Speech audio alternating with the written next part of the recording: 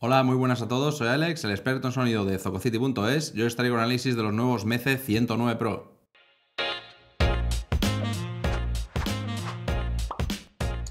El nuevo Mece 109 Pro coge las bases de lo que sería el 99 Classics, que todos ya conocemos, pero las lleva a otro nivel. Como veis, contamos con una topología abierta en las copas y el diafragma ha sido totalmente rediseñado para darnos un sonido mucho más dinámico y preciso en todo momento.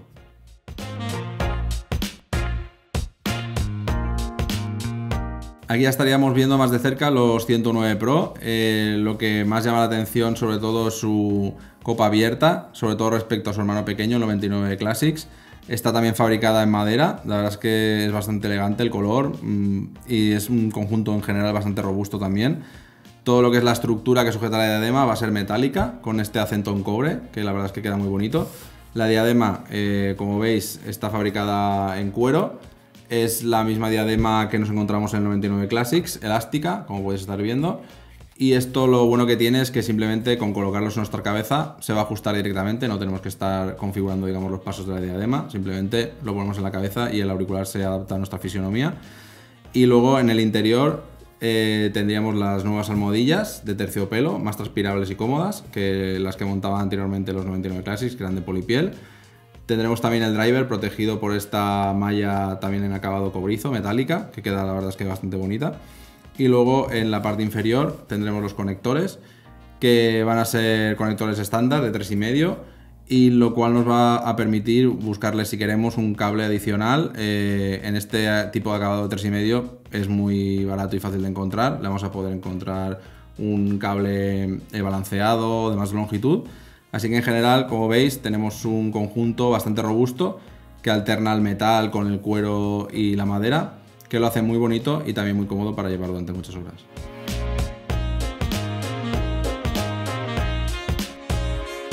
Ahora os voy a mostrar lo que vendría incluido en la caja de este 109 Pro. En primer lugar nos va a venir la funda, también acabada en cuero, eh, muy al estilo del auricular, conjunta la verdad es que muy bien con él.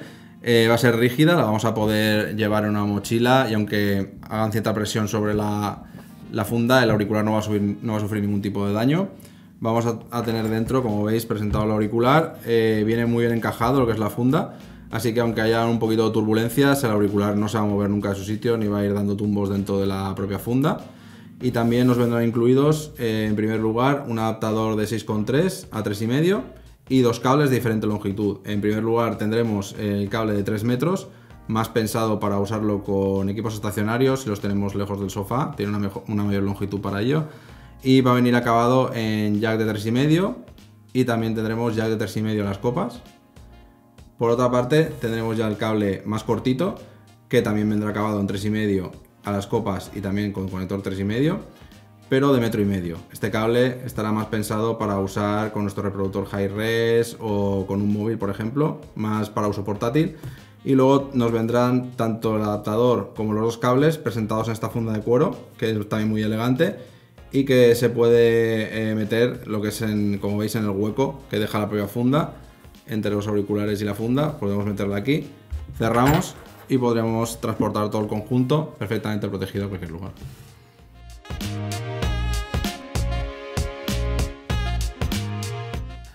Pues ahora voy a proceder a ponerme los 109 Pro en la cabeza para que veáis cómo quedan.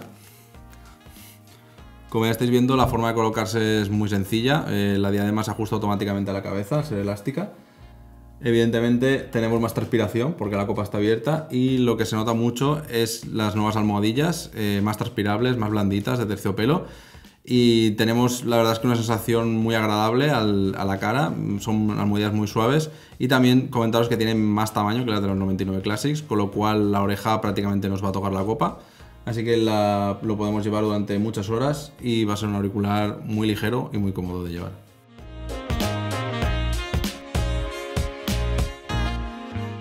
El gran cambio de estos 109 Pro, además de ser abiertos, lo cual nos va a dar una escena más inmersiva y que posiciona mejor los instrumentos, va a ser su nuevo diafragma de 50 milímetros, totalmente rediseñado.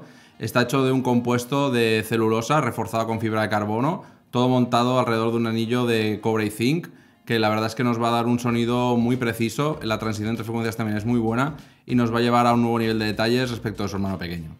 En cuanto a especificaciones técnicas de estos 109 Pro, nos encontramos con 40 ohmios de impedancia y 112 decibelios de sensibilidad esto es muy fácil de mover prácticamente por cualquier dispositivo, lo vamos a poder conectar a un móvil, a una tablet, a nuestro ordenador perfectamente, pero sí que agradecerá para ganar en detalle de un DAC y amplificador. Eso sí, no nos tenemos que ir a ningún amplificador muy potente. De forma portátil nos lo puede mover perfectamente un FIO Q3, por ejemplo, o ya eh, en modo más estacionario lo podríamos mover bien desde un ZenDAC. Eh, no necesita mucha potencia y lo vamos a poder conectar casi a cualquier dispositivo.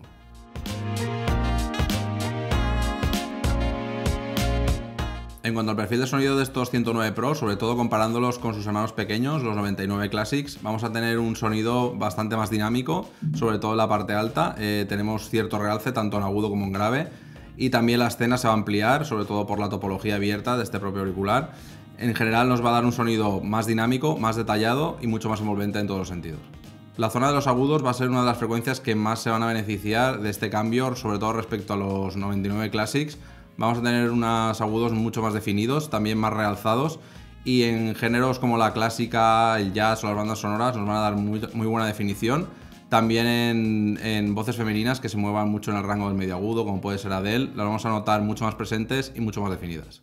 Debido al perfil en U de estos 109 Pro, lo que es la zona de los medios va a quedar un poquito más retrasada, digamos como en segundo plano. Eh, esto nos va a dar un buen detalle en guitarras, en los riffs de guitarra, también golpe de batería eh, incluso voces masculinas, pero las voces femeninas sí que se van a escuchar un poquito más retrasadas. En general, para música vocal eh, recomendaría otros modelos, como pueden ser el Liffyman Edition XS, rinde bastante más equilibrado en esta zona, pero para música cañera y divertida eh, vamos a tener un perfil en medios muy dinámico y muy agradable. En cuanto a los de estos 109 Pro, también los vamos a tener un poquito realzados sobre los medios. comparados con los 99 Classic, sobre todo transicionan mejor al subgrave y tienen mucho más impacto. Así que con música cañera tipo rock, hard rock, pop o electrónica, ya sea con golpe de batería o incluso con bases electrónicas, vamos a tener un muy buen rendimiento, con muy buena extensión al subgrave y mucha pegada, también sin perder el control y sin tener mucha mancha en lo que serían los medios, con lo cual queda un perfil de graves muy potente, pero a la vez muy equilibrado. En cuanto a la escena, también tenemos otras características que han mejorado respecto al 99 Classic, sobre todo al ser abierto, tenemos un efecto más 3D que posiciona mejor los instrumentos. Eso sí, tenemos una escena mediana tirando a grande, no va a ser de las más grandes en este rango de precios, pero en general al posicionar muy bien y dar una buena definición y un efecto muy holográfico nos va a hacer disfrutar de nuestra música, tanto si tiene mucho instrumental como también obras eh, más de cámara o incluso géneros como el pop o el rock que tienen menos instrumento y menos carga en esta zona.